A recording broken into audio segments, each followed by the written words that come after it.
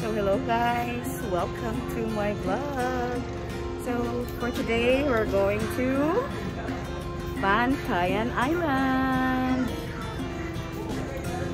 Let's go!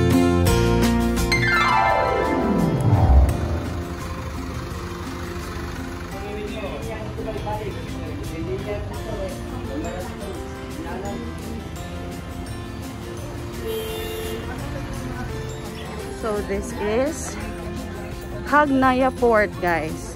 Okay.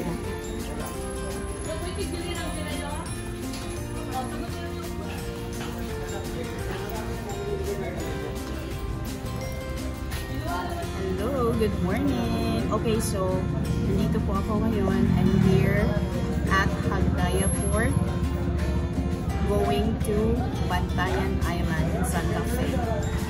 So, kung, if you heard about Bantayan Island, so paano po pumunta dito? So, from Cebu City, uh, if you're uh, taking a private car, it's gonna be one hour and a half and uh, for to two hours. And if you're gonna take a bus, ganun din siya, mga two hours. You're gonna take a bus in uh, North, this is uh, North of Cebu, so North Terminal. And then uh, going to Hagnaya Port. So from Hagnaya Port, which is, andito ko ngayon, uh, mga, and going to Santa Fe. So Hagnaya Port, going to Santa Fe, yan po yung barko ng sasakyan natin. So mga 1 hour and 13 minutes going to Santa Fe, Bantayan. Kasi nandun yung mga beach resort doon. So, yeah. Mag-antay lang. Mga, so, mga 15 minutes. Kala, ano na, pupunta na tayo sa barko. Okay? Okay, so this is the ticket. And we're gonna ride um, island shipping. Boat. And 185 one way from Hagnaya to Santa Fe Port. Okay? So 185 as of today, 185 pesos one way. Okay, boarding na po. Wala ka tindong. Tuloy, tuloy.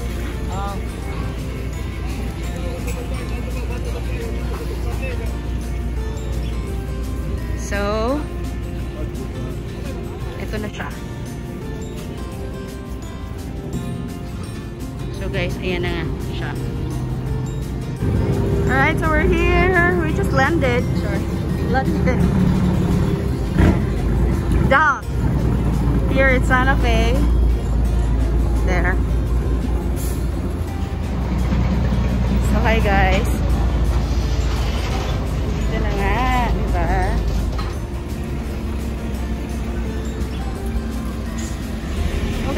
Ba? So, hahanapan natin yung van natin. This is the Hagaya Fort. So, welcome to Santa Fe, Bantayan! Let's go, guys!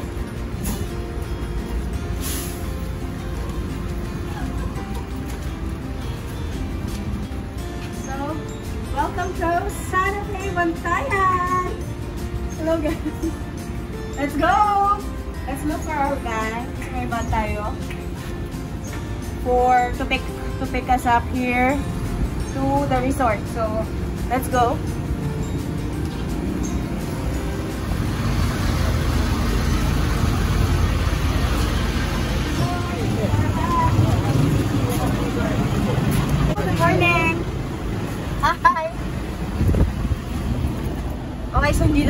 After like paying, uh, registering uh, sa mga ITAF, to, declaration, you know, for safety reasons.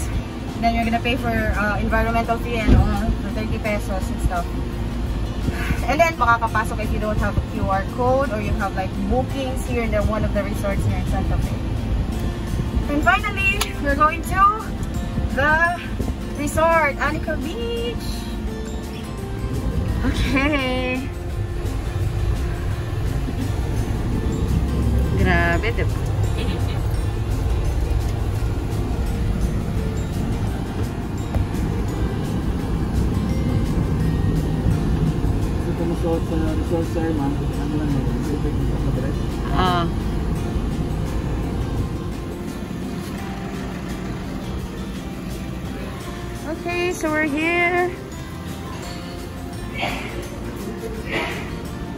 Safety first.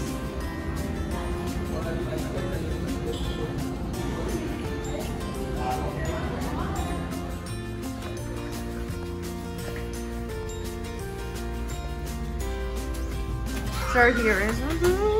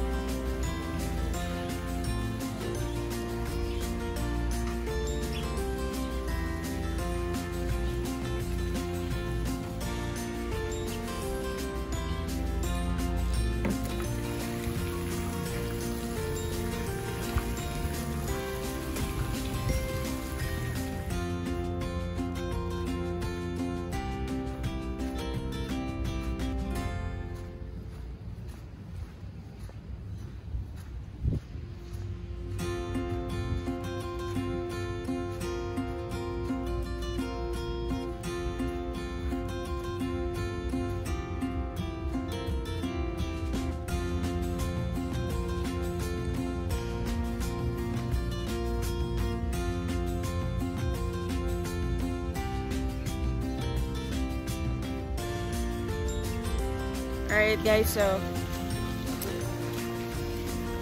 we're going to go around Bantayan and we're waiting for our motorcycle.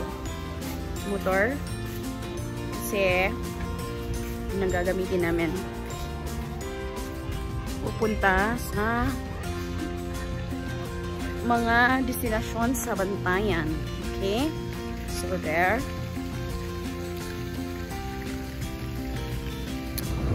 So, ito na nga. We will explore Santa Fe and Bantayan Island. Okay, and now we're going to... Here's my driver, Doggy. And we're going to first things first is Eat All You Can. Okay, so let's check the best Eat All You Can here in Bantayan Island. We're going that way. We're going to the Lungsod or the center. Okay. And of course, yan, mamayang gabi, humanda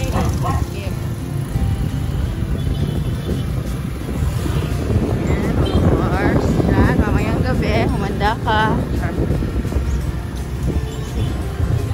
Papa Master. No, they're here. This one. Okay, and remember this is uh, unlimited. Alright, so guys, so we're here in Eat All You Can. Pero, seafoods, eat all you can. Pero, today, it's with a twist because of the situation. Hindi na po hindi na buffet, but instead, magsiserve na lang sila. So, we have the kinilaw, we have the calamaris. Of course, we have the scallops. Crab meat.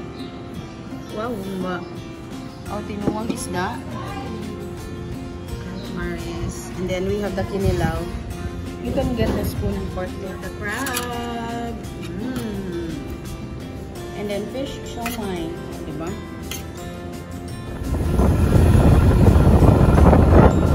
And we're going to Bantayan proper. Luzon Bantayan.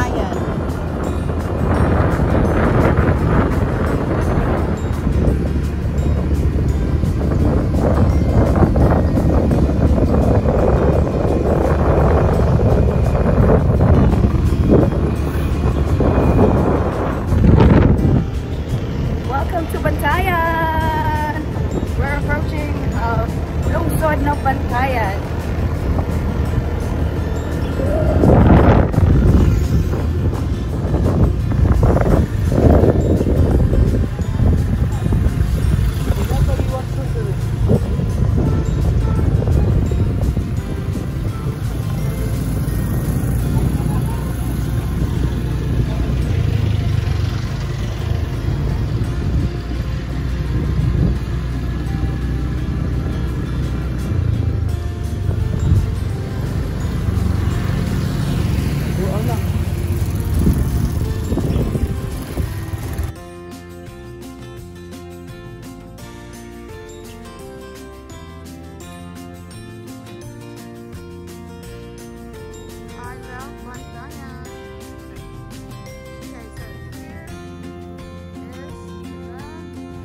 Okay, so here's the St. Paul Parish of Bantayan.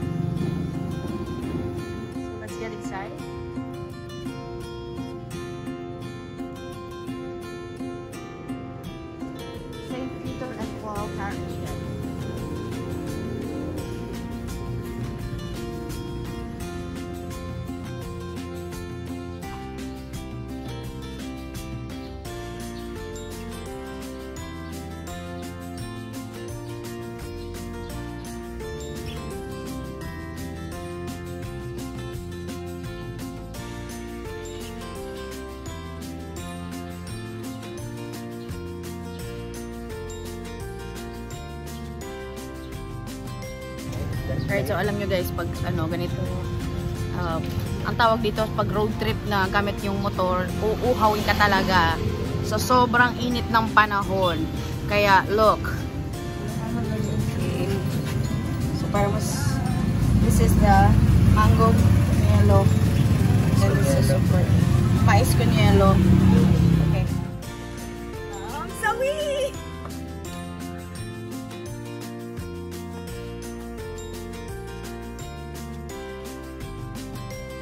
Okay, so we're here at Camp Wagi from Camp Sawi to Wagi.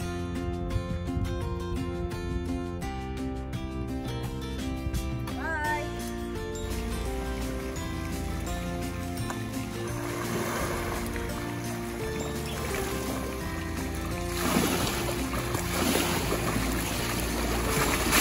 And of course, we're catching sunrise. Ayan na po.